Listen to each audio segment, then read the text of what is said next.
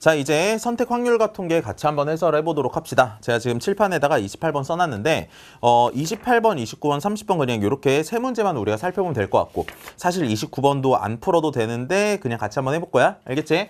일단 28번부터 얘기를 좀 해보면, 문제에선 1, 2, 3, 4, 5 중에 4개를 택해서 일렬 나열을 하는데, 이렇게 될 확률을 찾으래. 그러니까 이거 보고 작년 수능 문제가 또 생각이 나면서 여기서 합사건에 대한 확률을 찾으라고 했으니까 우리가 그대로 그냥 합의 법칙을 가지고 문제를 풀지 아니면 여사건을 가지고 문제를 풀지 고민을 해주면 되는데 이 문제는 지금 구조를 보니까 뭘로 풀든 어려운 것 같지는 않아. 그래서 나는 이런 표현이 나왔을 때 난 개인적으로 이제 여사건을 많이 의심을 하면서 풀거든.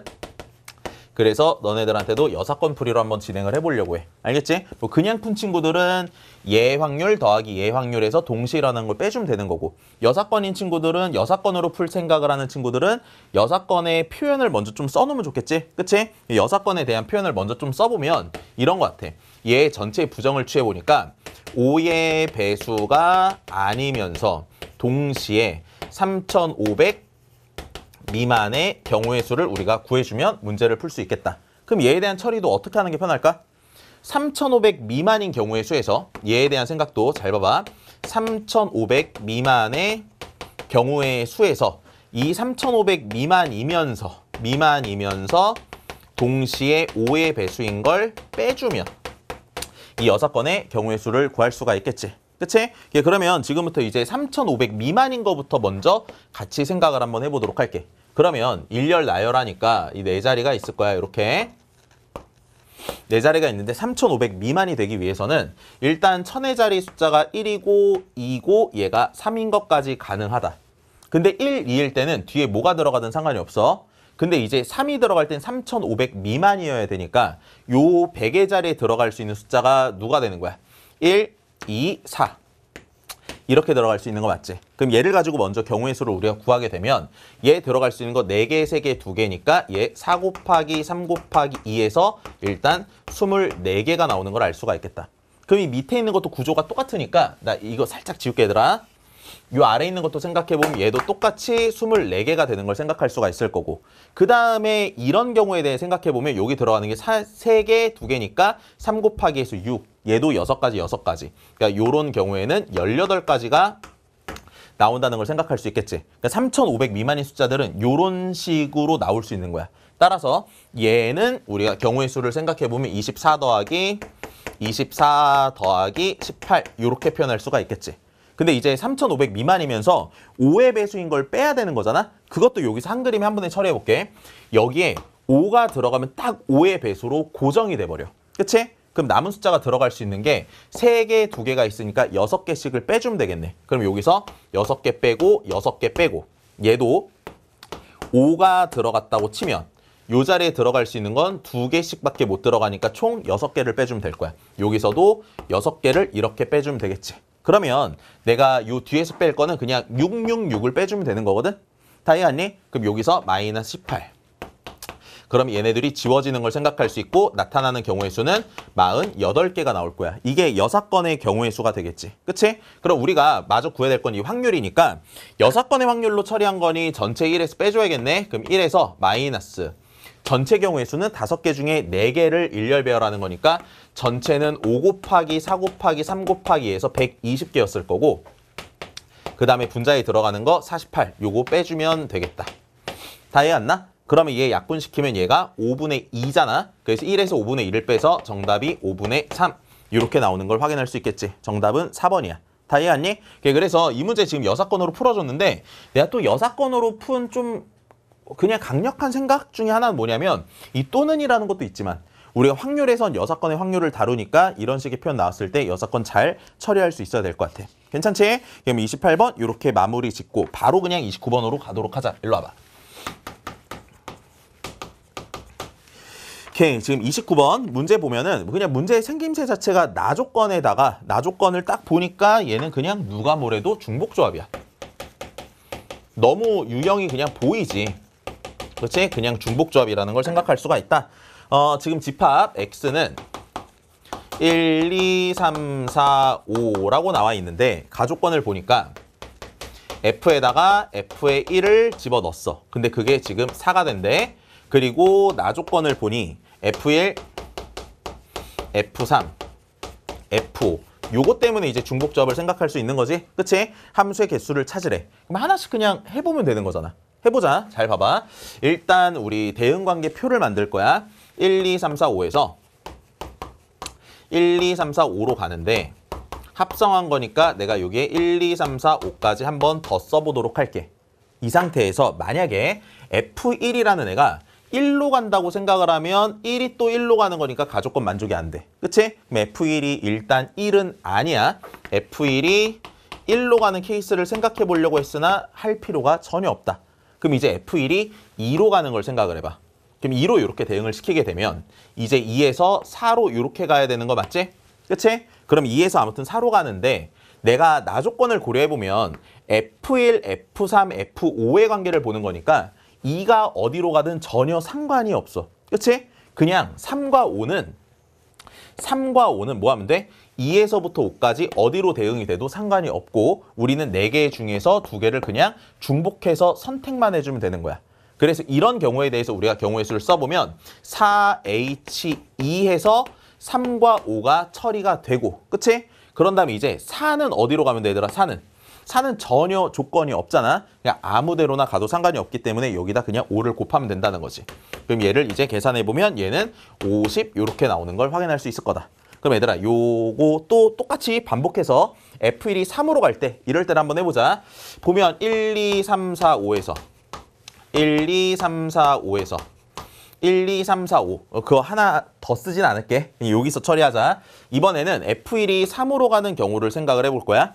근데 3이 4로 가야겠지? 그치? 가족권 때문에? 그럼 3이 4로 가니까 여기서 3은 4로 가는 걸 알 수가 있다. 그러면 나조건 때문에 5가 갈 수 있는 거는 4, 5 둘 중에 하나로밖에 못 가.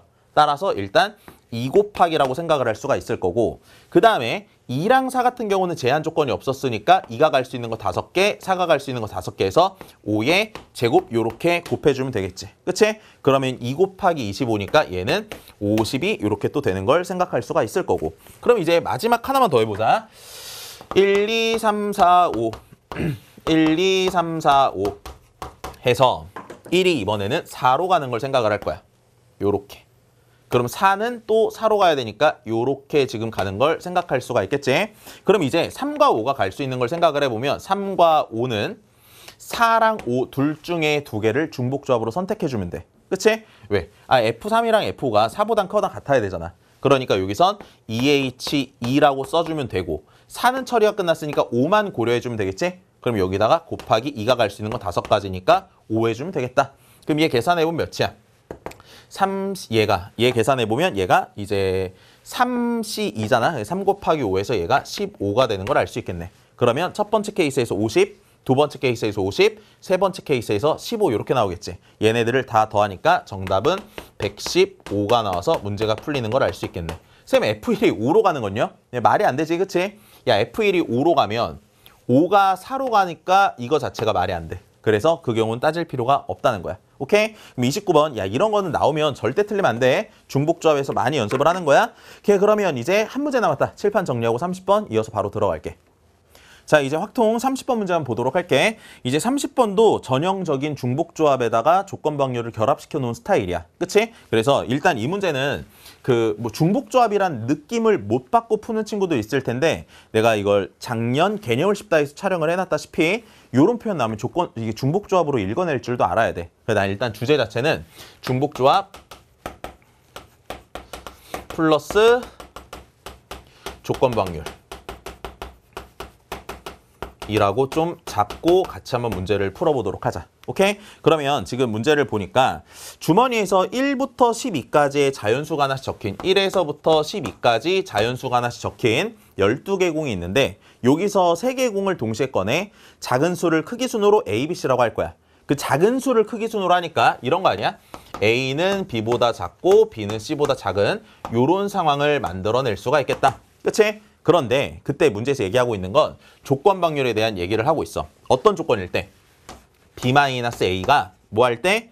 5보다 크거나 같을 때 C-A가 10보다 크거나 같을 확률을 찾아달래. 그러면 어차피 전체 경우의 수는 얘 확률분의 얘랑 얘를 동시에 만족하는 확률을 찾더라도 전체 경우의 수 같을 테니까 그냥 얘의 경우를 찾고 이거면서 얘를 동시에 만족하는 경우를 분자에다가 올려서 써보도록 할 거야. 그럼 일단 요거부터 처리를 해보자. 알겠지? 얘들아 잘 봐봐. 일단 요거 처리한다는 건 b-a가 5보다 크거나 같은 걸 보는 건데 b에 대해서 식을 살짝 정리해보면 a 플러스 5, b 요렇게 이제 우리가 표현을 할 수가 있을 것 같아. 근데 우리는 전체의 상황을 따질 때 C까지 고려를 해야 되잖아. 전체는 A, B, C를 뽑는 거니까 C도 고려를 해야 되잖아. 그럼 잘 봐.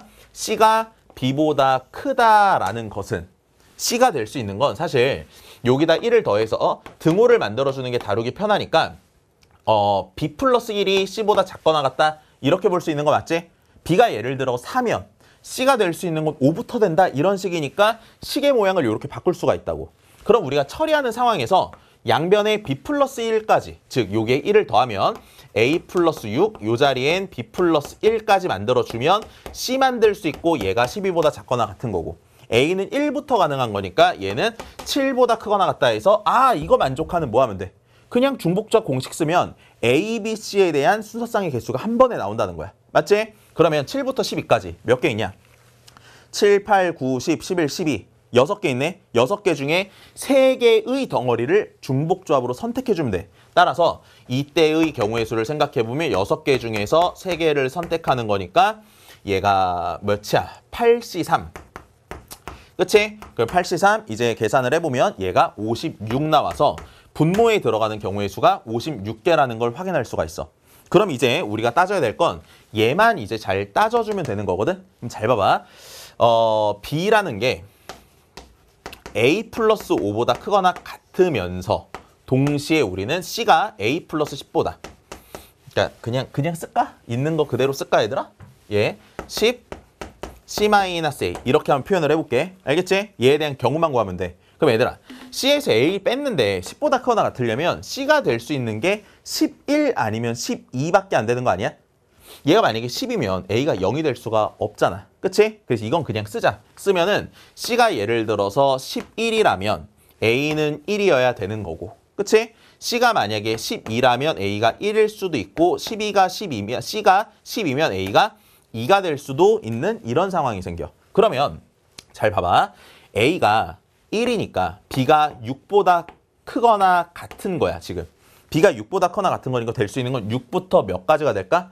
10까지가 되겠지. C가 11이니까 B가 될 수 있는 걸 생각해보면 6, 7, 8, 9, 10까지가 된다. 몇 가지? 다섯 가지 나타나는 걸 확인할 수가 있고 그럼 이제 그 아래 거 얘도 한번 생각해볼게. 그럼 얘는 B가 6에서부터 몇 가지 될 거냐면 11까지 될 거거든? 그럼 몇 가지가 나와? 6가지가 될 거고 그 다음에 얘에 대해 생각해보면 얘는 B가 7인 거부터 11까지가 될 거야. 그러면 얘도 당연히 다섯 가지가 되는 걸 생각할 수가 있겠지. 이게 이제 분자에 들어가는 경우의 수가 될 거다. 따라서 문제에서 구하라는 확률은 56분의 얘네들 다 더하면 되니까 16이라고 이렇게 써주면 될 것 같고 우리가 얘를 8로 약분시키면 정답은 7분의 2가 되겠지. 분자 분모를 더하라고 했으니 몇이 된다? 9가 정답이 된다. 이렇게 보면 될 것 같아. 그러니까 이거를 직접 네가 시험장에서 아, 이 B 빼기 A가 5보다 크거나 같다라는 거 얘를 직접 써서 얘를 직접 네가 써서 개수를 찾는 것도 괜찮은데 시험장에서는 아무 생각이 안 나면 이렇게 해야지. 근데 이 6월달 평가원을 보고 옛날에 기출문제에서도 이런 아이디어가 나왔고 EBS에서도 되게 많이 나온 생각이거든. 문제집에서 정말 많이 볼 거야. 알겠지? 그러니까 이런 표현 나왔을 때 이걸 다음과 처리해서 한 큐에 이렇게 전체를 구할 수 있다라는 요 생각을 30번을 통해서 다시 한번 점검했으면 좋겠어. 알겠지? 그리고 확률과 통계 지금 보니까 등급 컷이 좀 높더라고. 그러니까 왜 그런 걸까? 일단 확통에서 난이도가 높은 게 너무 없거든. 그러니까 확률과 통계가 너무 쉽게 나왔어. 그러니까 너네들은 무슨 생각을 해야 되냐면 미적분이랑 싸웠을 때 내가 표준 점수를 더 잘 받기 위해서는 확통이 좀 더 어렵게 나오길 바래야 돼. 이것보다는 어렵게 나오길 바래야 된다고. 알겠지? 그러면 확률과 통계 선택도 이렇게 일단 해설을 마치도록 할게.